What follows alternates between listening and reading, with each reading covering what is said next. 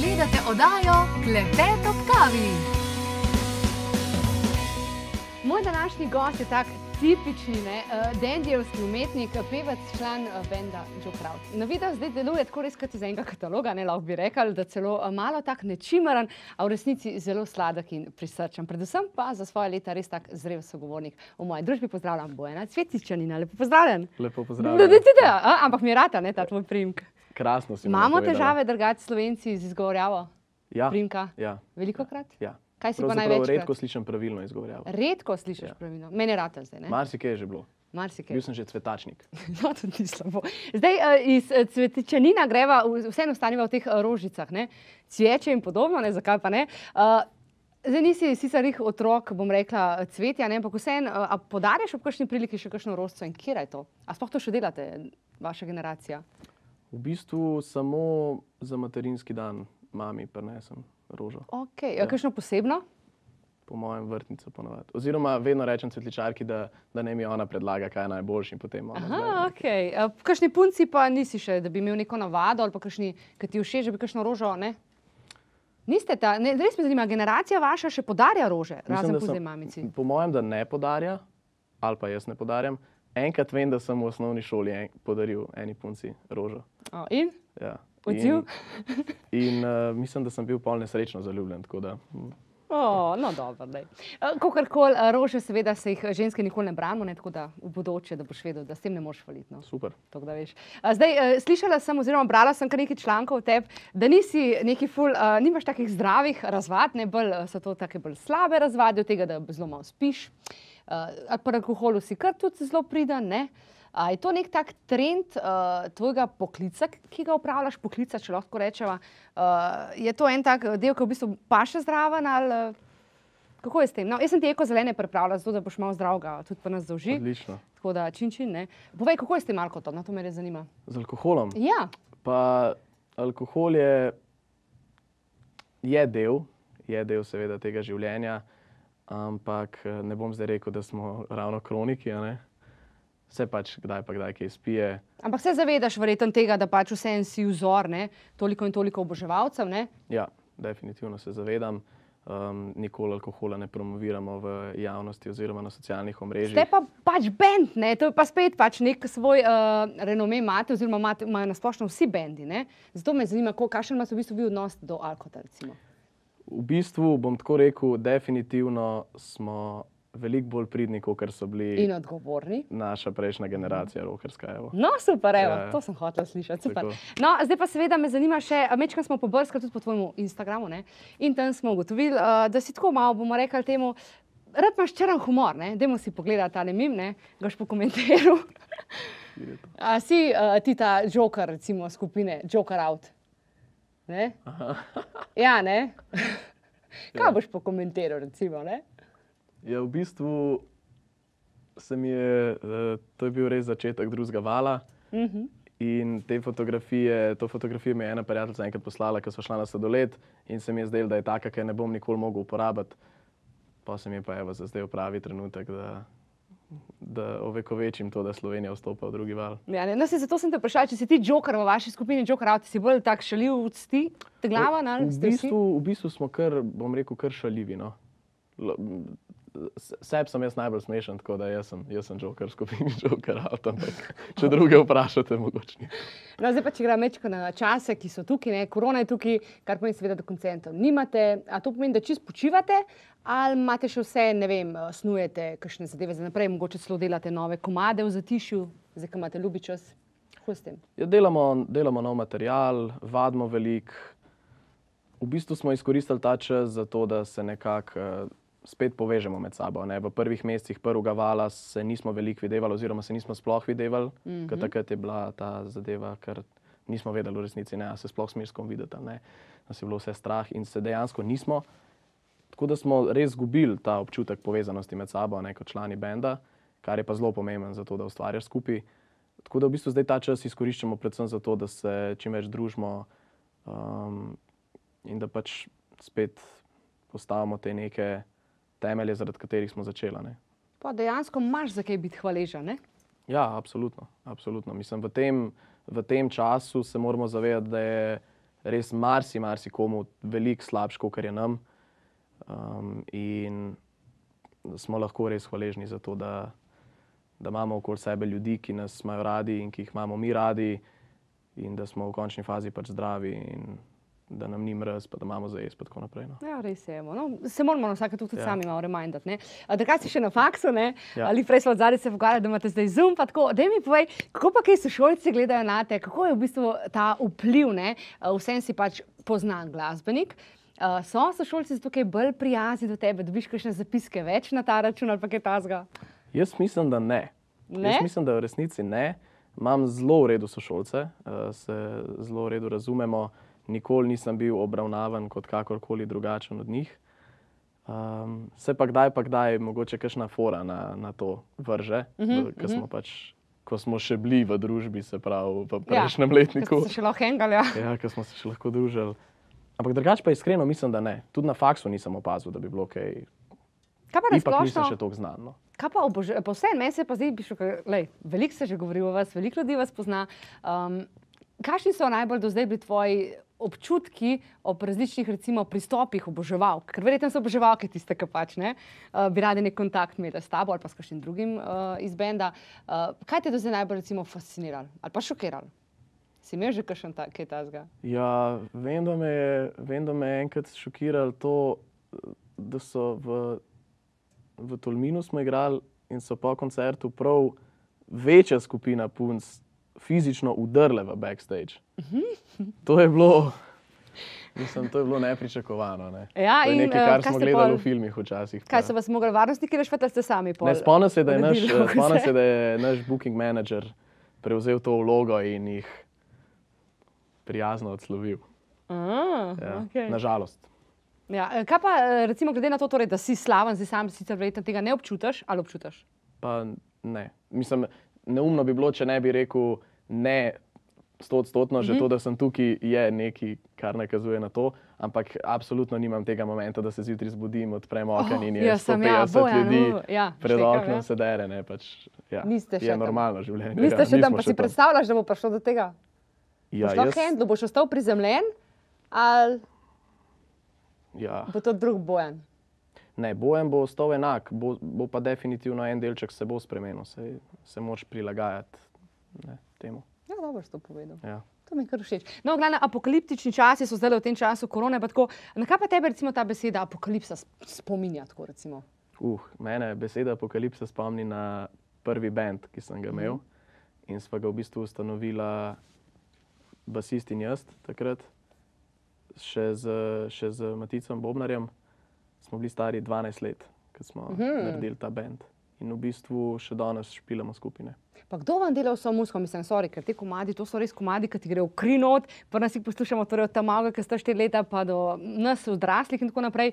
Uh, Odkje pravzaprav sploh ideja? A ste vi to že nekaj časa prej imeli te komade pripravljene, pa se je to, je to zrelo čez čas in je dozorelo? Ali to uno, ne vem, dajmo eno tedno narediti in komati zunaj? in Kako je, kako, kakšne so priprave v bendu? V bistvu je proces tak, da Ker sem. delate res kvali- kvalitetno muziko za to. Ja, hvala lepa. Um, v bistvu te pesmi, ki ste jih do zdaj lahko slišali, sem jaz napisal besedilo pa glasbo, ponovadi, oziroma pač wow. vokalno melodijo ne, mm -hmm.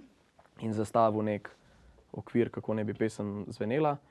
Potem se pa to preseli v naš prostor za vaje, kjer mi naredimo neko sliko, potem pa to predstavimo še producentu, Žaretu, ki pa ovrže marsikatero našo idejo okej. in začnemo zadevo postavljati znova. In bom rekel, da je to, kar slišite vi, res plod ogromno enega dela.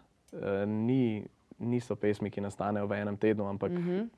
raziskujemo zvokom, raziskujemo tudi jaz, spremenjam tekste, kdaj pa kdaj, še v, v procesu snemanja. Um, in ponovadi vedno pesem oddamo v tisti miks, finalen, res zadnjo minuto, ko lahko. No. Mm -hmm. Vem, da greš, vokale sem snemal ob 4 zjutraj, v Izrael na miksu šli pa ob 8 zjutraj. Wow. Ja. Okay. Torej, res uno, do zadnjega, Ja. da res vse Ja. izpopolnjeno. ne? Veliko enih živčnih zlomov. je Živčna tule vojna, ja. ja. verjamem. Ja. Zdaj bi te pa prosila, ne, iz te živčne vojne, bolj te prijetne dele. Jaz sem recimo zdaj oboževalka in bi te prosila, da se podpišeš, a ne, da imam mesto za spomin. A. A se eh, vate podpise na veliko, čim bolj na veliko, ja. Okay. Čak, tale zelene ti bomo omaknila. A se ti kdaj priporoča, kako se moraš podpisati, ali to, tako, kot se je kar kul? Cool? Uh, wow. No, recimo, ker to je meni ful umetniško, jaz bom to v kamero uh, pokazala. Evo, Gregi bo tole po zumu. Uh, tk- a ja, takole. Aha, evo. Uh, a ti se zavedaš, drugač Bojan, da si v bistvu s tem svojim podpisom ne, izdal kar nekaj, oziroma skoraj vse svoje karakteristike? A res? Ti to že kdo rekel, kdaj? Ne, ponovadi so mi rekli, da nimajo pojma, kaj naj bi to bilo. No, uh, mi pa imamo eno, ki ima pojma in to je grafologinja Edita Tomič, tako da dajmo si pogledati, uh, kaj je razkrila v tebi. Nekaj grafoloških značilnosti iz tega podpisa je razvidno, da se oseba podčrtuje, to pomeni, da dodaja samo podobo, nekako tudi zaključuje svojo odločnost, potem nakloni so malo nihajoči, malo levo, pokončno in pa desno, kar nakazuje na dejstvo, da je oseba hitro čustveno odzivna in se že na njej takoj vidi, kako se počuti. Potem pisalo je pastozno, kar še bolj poudarja njena čustva. Ravno tako je razvidna empatija, to se pravi, hitro začuti, kako se druga oseba počuti, hitro razume, kaj govorijo, ravno tako pa je lahko to tudi na- nakazuje na dejstvo, rahla naivnost. V spodnjice pentli je zaznati želja po določenih spremembah in seveda tudi to, eh, odločnost in pa ustrajnost, kar se nakazuje v rahli trmi. Ima tudi eh, določene kreativne sposobnosti, to je razvidno iz te neke narobe obrnjene trojke, in pa zna zajemati izkušnje iz preteklosti in jih tudi prenesti v sedanjost. Nekako intuicijo ima razvito, vendar pa jo ne upošteva tako, kot bi jo lahko, ker je pisava zelo zvezdna. To je zelo na kratko uh, o raz, grafološka razlaga o tem podpisu. No, mimo grede, če tudi vas zanima, kaj sporoča vaš rokopis, seveda bolj v detajle, potem preverite na spletni strani klepetopkavi.si pod zavihkom storitve boste našli opcijo grafološka analiza. Evo, Bojan, boš kaj pokomentiral, kako se ti zdel uh, tale uh, komentar naše edite? Razsvetlila me je. Res? Res, mislim, počutim se, počutim se golega in razgaljenega. V dno duše mi je pogledala. Te je Ne, zadela? Dejansko je veliko stvari zadela. O, no, hudo. Ej, hodila sem te vprašati, zdaj, uh, vi ste, uh, ti v bistvu si zelo mlad, ne? nekaj malega, čez 20 let imaš. Uh, zdaj vaša generacija v bistvu nekako opisuje, da ste kot taki zvezdnati otroci, ne? da imate zelo veliko razvito intuicijo in tako naprej. Tudi uh, Edita je to omenila. Uh, a čutiš to, slišiš ta notranji glas svoj? Ja, jaz sem zelo intuitivna oseba, drugače. Um, je pa v bistvu tukaj me je najbolj zadela to, kar je rekla, da, da sem intuitiven, ampak ne sledim intuiciji toliko, kot bi lahko. Uh -huh. Kar pa pomeni, da sem um, kljub tej intuitivnosti na momente tudi preračunljiv. Mhm. Iskreno? Tako. Okay. Ja. In kam bo to peljalo? Kam mora to peljati? Pol? Ja, Tudi jaz čez, upam, da vsaj do 85 let starosti. Pa, pa Ja, bomo ne. videli. Kaj pa na ključe, pa to verjameš v te stvari? Dajmo reči, da ja. je lepše verjeti. Je lepše Ja? reči, ja, kot ne. Lepše življenje, po mojem, če verjameš. Okay. A se kdaj kaj tu s sabo ukvarjaš? Tako me zanima, ne vem, eh, ta osebna rast, mogoče kakšna meditacija, kaj tasga, nisi še tam? Ne, si želim, Res? si želim meditirati, probal sem enkrat. Um, ampak zaenkrat mislim, da res še nisem tam. Nimam, nimam tega, te sposobnosti, da sem primir, da se, mm. -hmm. da se usedem sam s sabo, skozi moram nekaj delati.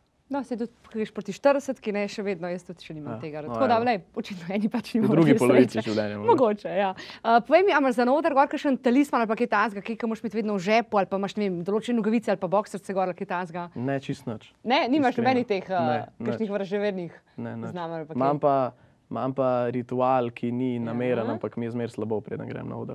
Opa, tremate to kdaj, res. Ja. Wow, Ampak res samo za trenutek.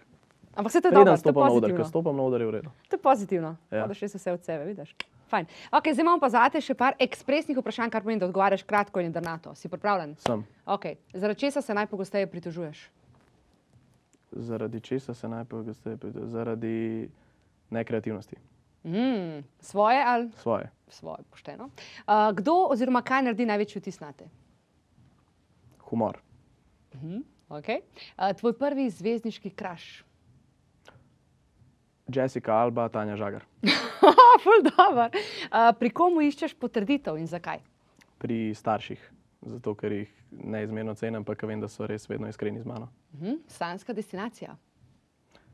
Sanska destinacija. Zdaj, če kaj samo ni Slovenija, ali? Ja, ne vem, v bistvu, da je reči. A že bled? Je že to dosti sanska zdaj? To je resnici čisto sansko. Bled, ja, no, evo. Kava ali čaj? kava. Kava, ok. Uh, skriti talent, za katerega še ne vemo. Skriti talent, za katerega še ne vemo, nimam.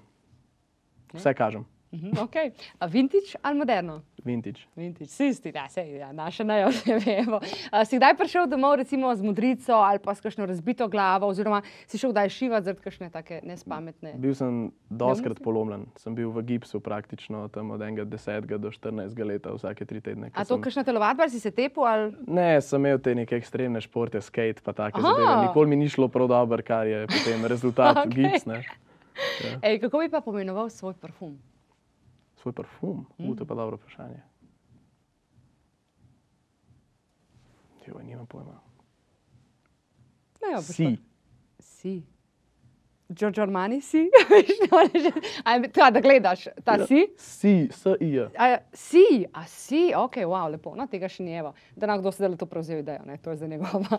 Um, najbolj znana oseba v tvojem telefonskem imeniku? Tomi Meglič. Ok, boš posodil. Dej povej mi uh, najbolj neumen dogodek v tvojem recimo najstniškem življenju in pa hkrati mogoče tudi dogodek, ki te je pa najbolj definiral. V bistvu je to isti dogodek. Ja? Dejansko je isti dogodek. V srednji šoli, v tretjem letniku, oziroma iz tretjega na četrt letnik, smo šli na izlet v Neapelj, šolo. In en večer smo malo preveč popili, pač klasični srednješolci. No, v glavnem naslednji dan sem bil jaz tako slab, da nisem mogel iti na izlet. Ne.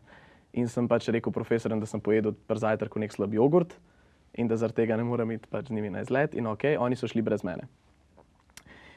In ob ene treh popovdne me je klicala profesorica, če sem že v redu, in jaz sem bil dejansko v redu, in je rekla, če se jim lahko pridružim. Sem mm -hmm. rekel, ja, z veseljem se vam lahko pridružim. In je rekla, ok, super. Jaz sem pričakoval, da bodo oni pa z avtobusom prišli do hotela, me pobrali in gremo naprej. No, ona je pa rekla, zdaj greš pa na ta tramvaj, pa po tramvaju na ta avtobus, pa po tem avtobusu boš najdel še en turistični avtobus in priješ na nek grad na drugi strani Naplja. In jaz sem bil tako, ok, ne, pač pri 17 letih. No, v glavnem, jaz sem se pač pelil, pelil, pelil in prišel na en trg, kjer sem kupil vozovnico za ta turistični avtobus. In um, sem mogel še počakati 30 minut. In dejansko sem se v tem momentu usedel na kavo, jedel rogliček in sem bil sam srednje Apla in sem se počutil tako samostojnega. In eh, takrat sem se prvič počutil kot dejansko samostojen človek. Bil sem nekontroliran sredi enega mesta, profesorica mi je zaupala, da grem pač. To je bilo res, Res to je bilo res noro. ja. ne. Ker V osnovni šoli nisi smel niti v Merkator čez cesto. Ja, zdaj pa sploh ne v teh časih. Ja. Zdaj pa sploh ne. Wow, to je bil pa kar res tak ve- velik dosežek za Ja. te. Tako da iz te neumnosti, da smo malo preveč spili, sem v bistvu doživel najlepši trenutek. Razsvetljenje Tako, ja. Katarza čisto. Bojan, hvala lepa ti za obisk tebi in seveda tvojemu bendu želimo veliko uspeha, obilo kvalitetne glasbe in seveda tudi veliko zabave. Najlepša hvala. Hvala Hvala za vabilo.